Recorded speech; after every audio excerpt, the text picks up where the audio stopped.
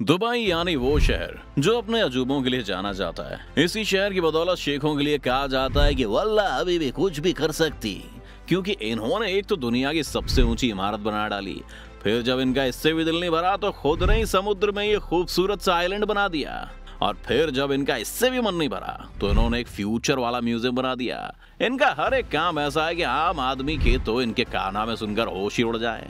अब एक और बार फिर से लोग दुनिया के होश उड़ाने की तैयारी में लगे हुए हैं। जी हाँ दोस्तों, इस बार दुबई वालों का इरादा चाँद को ज़मीन पर लाने का है। अरे रहने, घबराओ मत। ये असली चाँद को ज़मीन पर लाने की बात नहीं कर रहे हैं, बल्कि ये लोग असली चाँद के जैसा ही होटल बनाने जा रहे हैं, जिसकी खासियत सुनकर लोग अभी से हैरान है। और तो दुबई ने इसे बनाने में अभी तो पाँच अरब का बजट डिसाइड किया है। लेकिन आपको बुर्ज खलीफा के बारे में तो पता ही है कि ये हबीबी लोग बजट शुरू कुछ और करते हैं और खत्म कहीं और ही करते हैं। ऐसे में अब ये तो जानना दिलचस्प भी रहेगा कि आखिर उस होटल में क्या होने वाला है।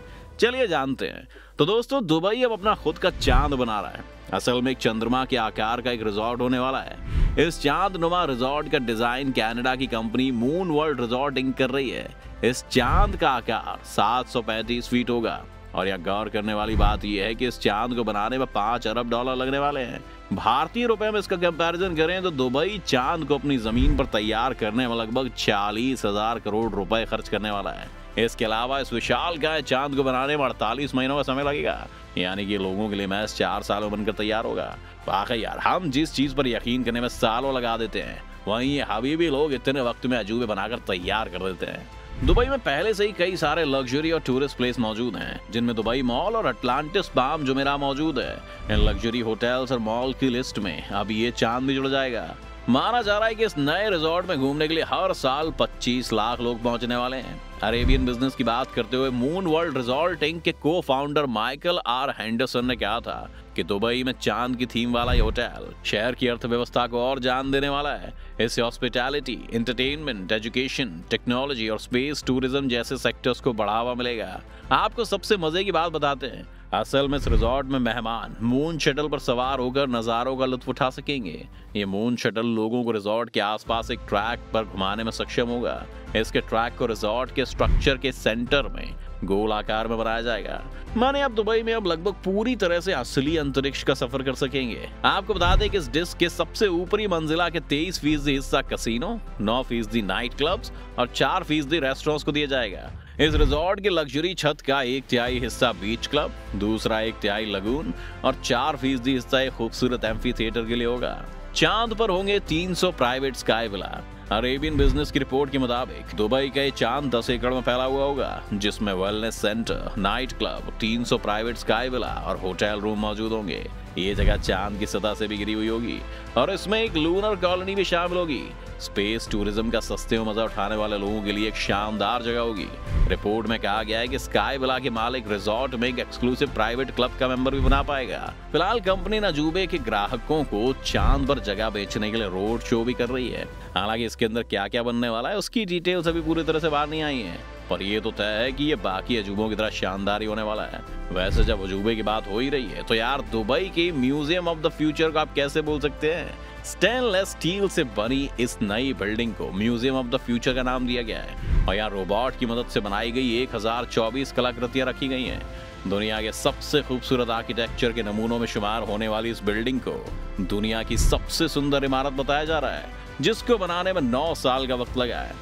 ये म्यूज़ियम विजिटर्स को स्पेशल मिशन में भाग लेने के लिए प्रोत्साहित भी करता है। इनोवेशन के लिए आइडिया की भी बात करता है और आम सोच से बहुत दूर भविष्य में ले जाता है। अब अगर इस म्यूज़ियम को बनाने में लगने वाले पैसों की बात करें तो लगभग एक हज़ार करोड़ रुपए पिछले दिनों दुबई टूरिज़्म ने अपने एक नए ad creating the future with Shahrukh Khan में भी इसे फीचर किया था। मीडिया रिपोर्ट्स के मुताबिक सात फ्लोर वाले museum of the future building 77 metre ऊँची और तीस हज़ार वर्ग मीटर में इसका निर्माण हुआ है। और ये दुनिया की सबसे ऊँची इमारत बुर्ज खलीफा से कुछ ही दूरी पर स्थित है।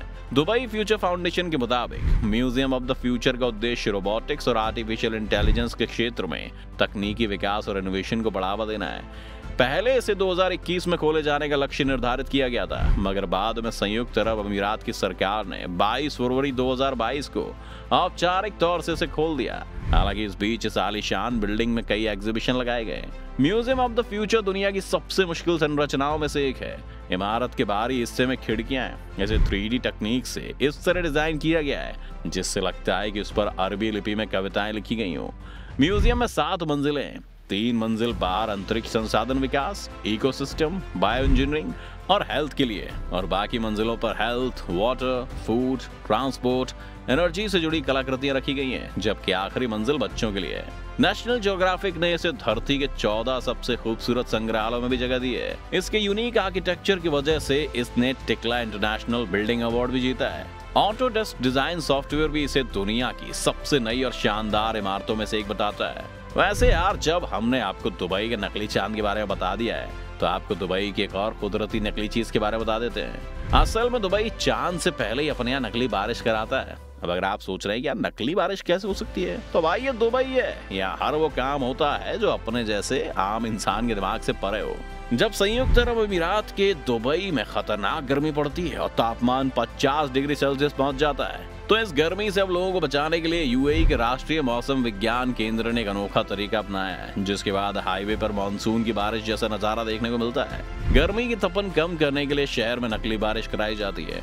डेली मेल की रिपोर्ट के मुताबिक, ड्रोन टेक्निक का इस्तेमाल करके बारिश कराई जाती है, जिसे क्लाउन सीडिंग भी कहा जाता है। इस नई तकनीक से बादलों को एक बिजली का झटका दिया जाता है, जो बारिश पैदा करने के लिए एक साथ टकराते हैं। ड्रोन से कैसे होती है बारिश?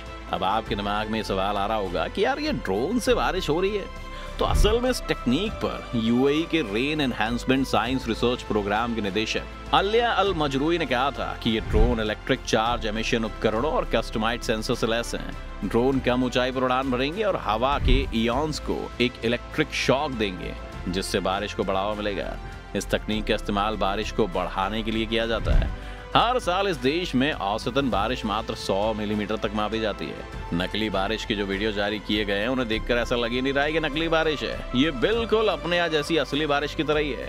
और यार, वो भी क्यों ना? अब जब आसमान से पानी बरसता है तो हमें तो बचपन से लेकर आज तक वही बारिश लगती है।